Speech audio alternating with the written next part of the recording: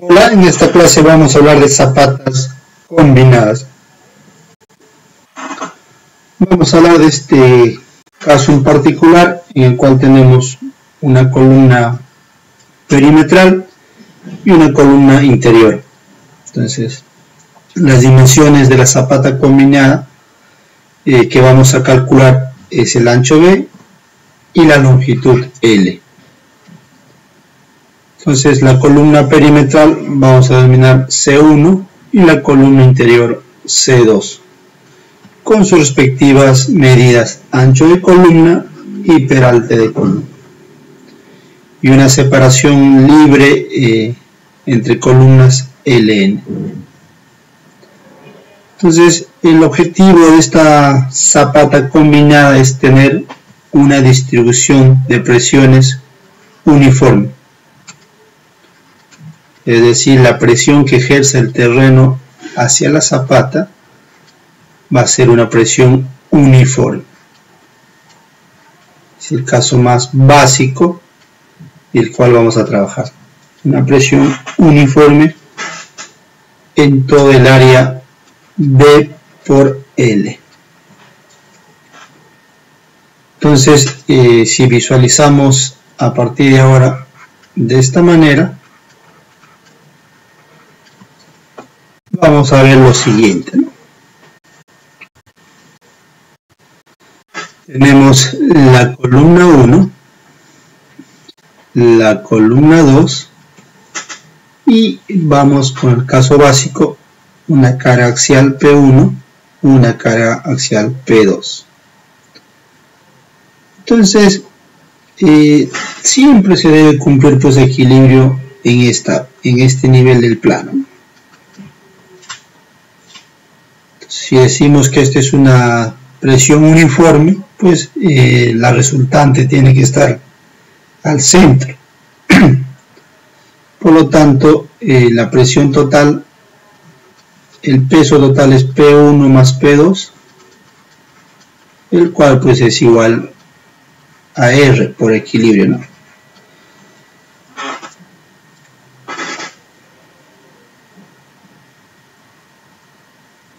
Presión 1 más peso 1 más peso 2 igual eh, resultante, igual la fuerza R. Ahora, ¿cuál es la posición? ¿Cuál es la posición eh, en el cual actúa eso? X. Pues básicamente es sumatoria de momentos. Sumatoria de momentos alrededor de este punto que denominamos O debe ser 0. Con eso tenemos que en este sentido vamos a denominar positivo. Empezamos. P1 por X1 más P2 por X2 va a ser igual a la fuerza P o en su defecto R por X, ¿no? X viene a ser eh, la distancia a donde actúa esto de acá. La resultante de las fuerzas. Ahí tienes despejando pues que P X viene a ser ese valor nada más. R es igual a P, viene acá. La longitud de la zapata para tener una distribución uniforme pues va a ser dos veces. Con eso logramos que la fuerza actúa en este eje. En el mismo eje la, la suma de las fuerzas P y la resultante R. Entonces con eso ya hemos dimensionado el valor de L. Ahora falta calcular el valor de B.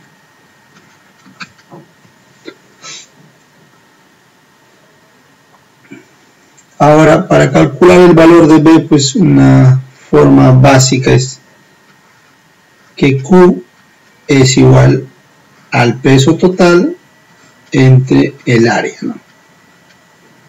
el área de la zapata. El área de la zapata es B por L.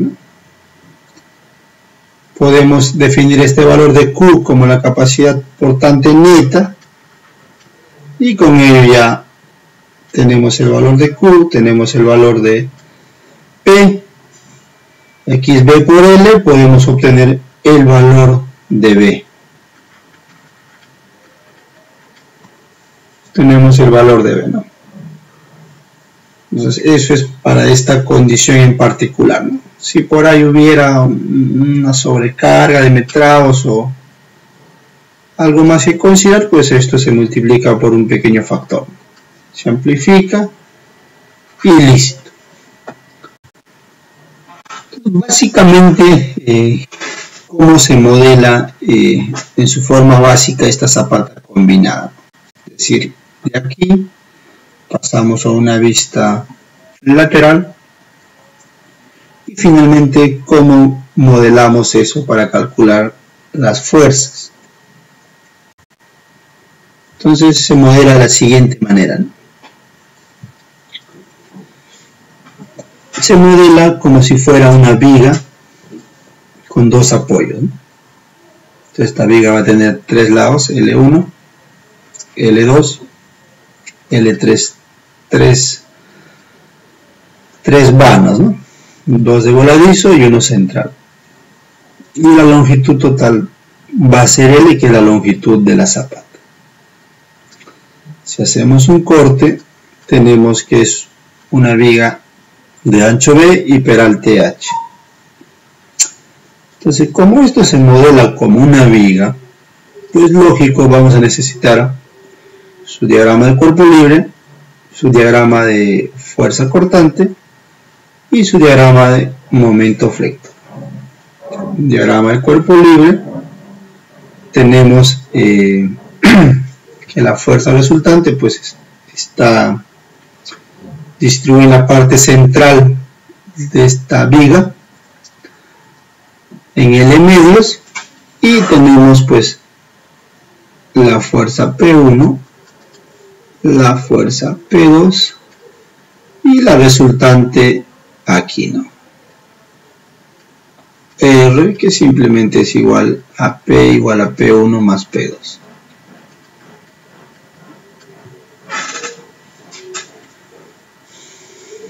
ese esquema gráfico y, modelado como una viga, pues nos va a generar unos diagramas de fuerza cortante de esta manera.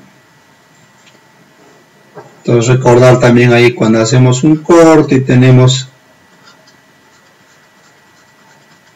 convención de signos, en este sentido es positivo, cortante hacia abajo y momento flector hacia aquí.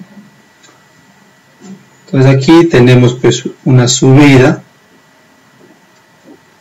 luego se baja por la carga P1, luego sube linealmente, baja por la carga P1, por la carga P2 y luego sube acá. Es la forma del diagrama de fuerza cortante. Entonces tenemos aquí tres puntos básicos, ¿no?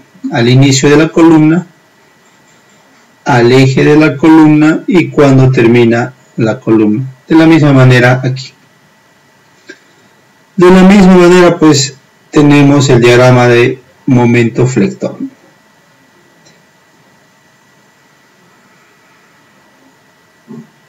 En los respectivos puntos, al inicio, al medio de la columna y a la parte final de la columna. Entonces, eh, básicamente eso es nuestro modelo. Modelo básico, una viga, generamos su diagrama de fuerza cortante y su diagrama de momento flector.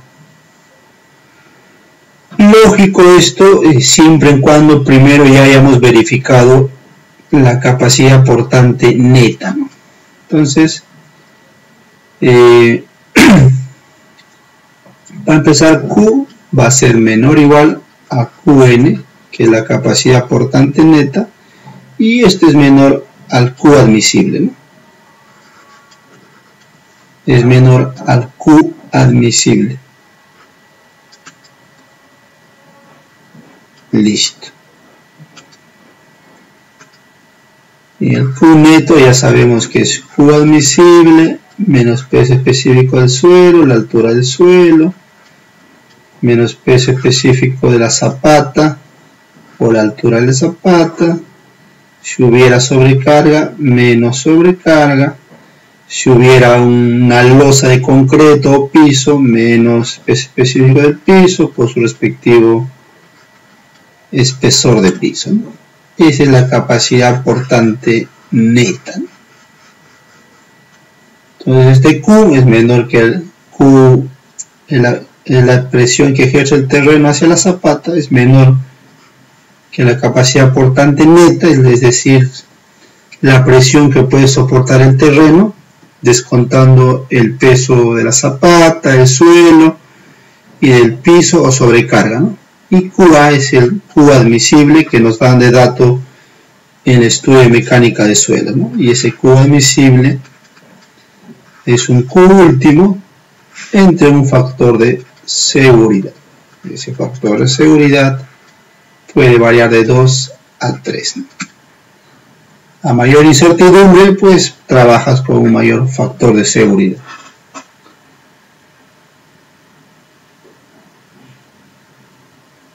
Entonces, en este punto ya entendemos que Q es menor que Q neto. Es lo primero que hay que verificar para continuar con el análisis y posterior diseño.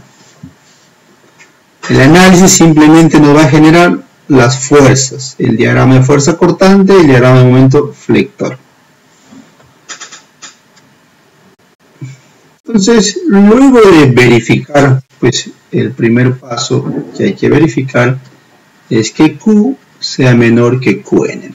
Y con ello, ¿qué hemos logrado? Hemos logrado la medida B, la longitud L y pues H hemos definido del inicio, ¿no? También es un dato ya. Este H ya pueden calcular con los mismos criterios de zapata aislada, ¿no? Para empezar a eh, dimensionar.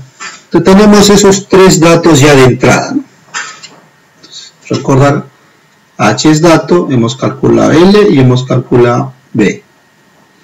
Y hemos calculado QN también. Finalmente necesitamos verificar corte en una dirección. El corte en una dirección se verifica a una distancia de, de la cara de la columna. Entonces verificamos en este plano, verificamos en este plano y en este plano. En esos tres planos verificamos el corte en una dirección vamos a tener corte 1, 2, 3. Lógico, esos cortes que verificamos simplemente eh, vienen a ser aquí, bueno, cuánto es el valor de ese cortante último a una distancia de, cuánto es el valor de ese corte a una distancia de, y cuánto es a una distancia de. Eso es lo que tomamos. Este valor viene a ser BU1, BU2 y BU3. Lógico, el mayor de ellos es el que vamos a necesitar como entrada. De ellos obtenemos el mayor de ellos y finalmente pues eso tiene que ser menor que la capacidad de corte del concreto. Listo. Con ello tenemos ya, eh, si logramos verificar ello, en primera instancia si se logra verificar, pues eh, sería el correcto, ¿no? Porque se entiende que el H que hemos ingresado de datos es el mínimo posible. En caso no, en caso no se cumpla, en caso tengamos que BU sea mayor que fíjese, en ese caso pues podemos optar por, por ampliar el valor de B o el otro camino es ampliar el espesor de zapata. Tenemos esas dos opciones. Ampliar B o el ancho, el plalte de la zapata o el ancho de la zapata. Hasta conseguir que BU sea menor que phi BC. Si no quieres hacer eso, entonces hay que colocar refuerzo por corte en la zapata. Si, no, si no queremos hacer este paso de acá, pues tendrás que colocar refuerzo por corte en la zapata.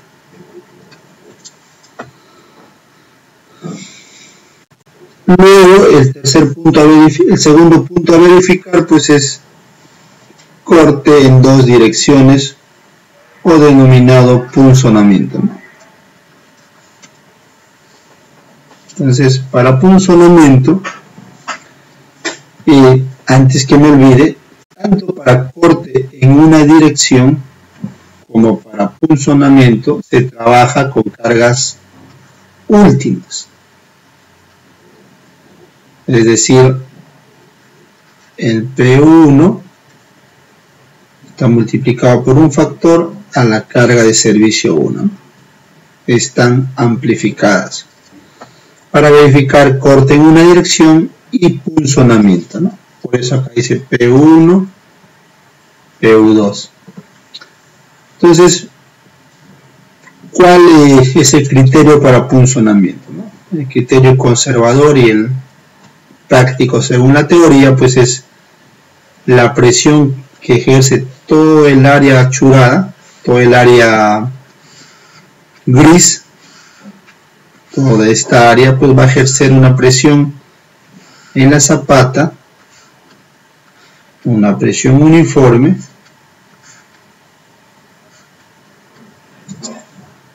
que va a tratar pues de cortar la, la zapata, ¿no? Donde en la zona donde hay alta concentración de esfuerzos, que es acá. Aquí y aquí.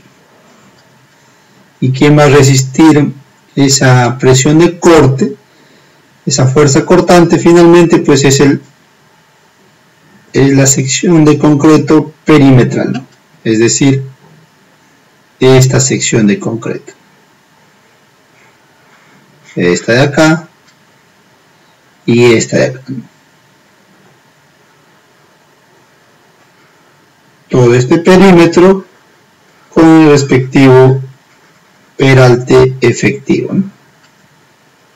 Todo este perímetro con el respectivo peralte efectivo. Entonces lo que buscamos es pues que la fuerza cortante ejercida por el área gris BU sea menor que la fuerza cortante resistida por el concreto de las áreas del perímetro en rojo por su respectivo peralte efectivo. Entonces en esta ecuación eh, tenemos lo siguiente, hay una relación que hay que calcular beta 1 para cada columna, que es la relación valor máximo de las dimensiones entre el valor mínimo. Luego ya sabemos que calculamos BC1 BC2, BC3 y para ellos tenemos eh, el BC de punzonamiento, en este caso vendría a ser el mínimo de ellos, el mínimo de esos tres. En el caso nuestro, pues eh, vamos a denominar como tenemos dos columnas, que phi, este es para la columna 1 y el otro valor va a ser para la columna 2. y esto se verifica columna por columna. Vamos a calcular un valor de BC1 para la columna 1, un valor de BCP2 para la columna 2, columna 2, columna 1. Columna 1 estamos calculando esto, esta resistencia corta columna 2 estamos calculando esta resistencia corte. Y este valor de BCP1 pues, viene a ser el mínimo de estos tres valores. De la misma manera BCP2 viene a ser el mínimo de estos tres valores. Finalmente tenemos pues que BCP1, BCP simplemente es la suma BCP1, BCP2, ¿no? La suma de estos dos. Y BU, el cortante último por funcionamiento, pues sabemos que una forma práctica de calcular es la sumatoria de estas dos cargas descontando la fuerza que existe en el área celeste. P1 más P2 menos Q1 por AP1 menos Q último por AP2. Pues acá Q último pues es un factor por Q, el Q anterior, ¿no? Entonces amplificado por carga última. Y luego eh, tenemos que verificar que se cumpla esto. En caso no se cumpliera, pues podemos mejorar la calidad del concreto o en su defecto eh, crecer el peralte. Porque crece la dimensión L, la dimensión B no, no cambia nada, genera más fuerza Simplemente hay que aumentar el peralte de la zapata. Entonces, eh, hasta ahí habríamos hecho los siguientes pasos. Primer paso, hemos verificado el valor de Q, que este valor de Q es menor que Qn y menor que Q admisible. Segundo, hemos verificado eh, corte en una dirección. Y tercer paso, verificado punzonamiento.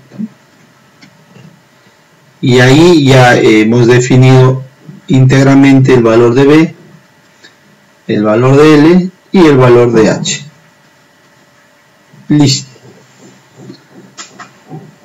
Y luego, eh, verificado esos valores,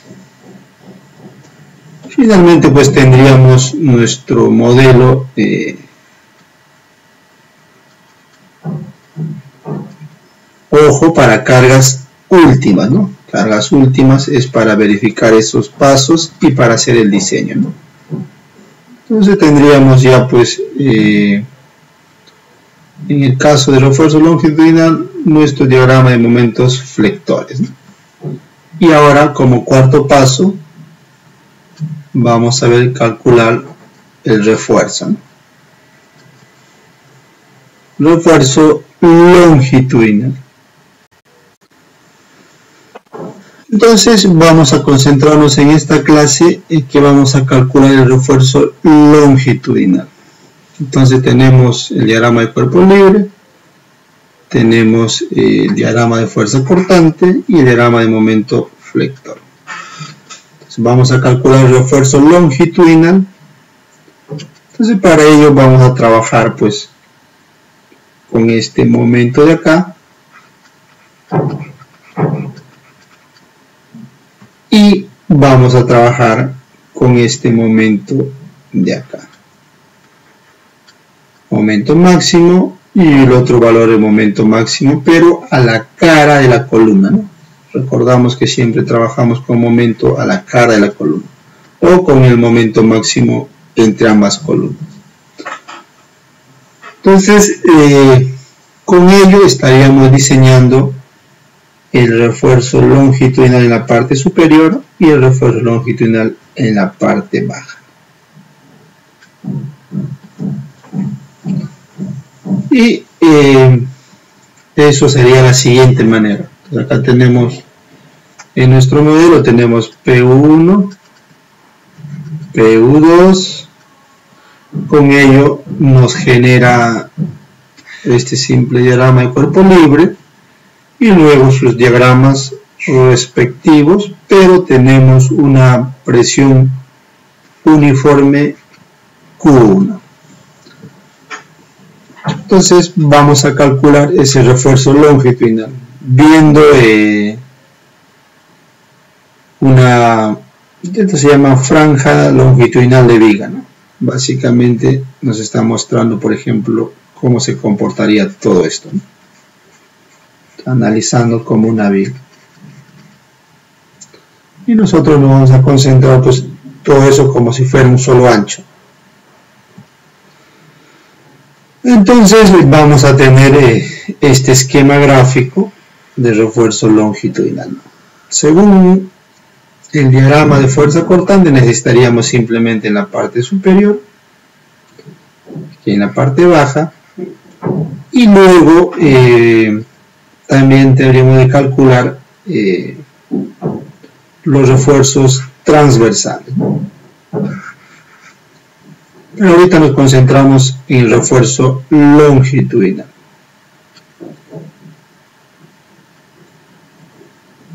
Entonces, en el refuerzo longitudinal eh, vamos a considerar todo esto como una sección de viga de esta, de ancho B y peralte H. Y aquí necesitamos dimensionar cuánto es el peralte efectivo. Para ello necesitamos un valor de diámetro de barra. Puede ser 5 octavos, puede ser media, o 3 cuartos, etc. Calculamos el valor de D, similar que en zapatas aisladas. Esto ya se sabe. Y luego, eh, igual que en zapatas aisladas, eh, calculamos el valor de A, luego calculamos el acero y luego pues ya sabemos distribuir ese acero. Eso sería con respecto a refuerzo longitudinal. En la próxima sesión ya veremos el cálculo del refuerzo transversal. Ahora, en este refuerzo longitudinal, pues al considerarse como un elemento viga, pero básicamente es una especie de losa, el acero mínimo que vamos a usar va a ser 0.018 de B por H. Entonces muchas veces ese acero mínimo es el que predomina en el diseño del refuerzo. Por ejemplo, ¿no? si aquí posiblemente predomine el acero calculado. Aquí es más probable que el acero calculado va a ser menor que el acero mínimo. Estamos hablando de 0.18. El acero que hay que asignar acá va a ser pues acero mínimo. Listo. Con esto terminamos y en el próximo video hablaremos de refuerzo transversal.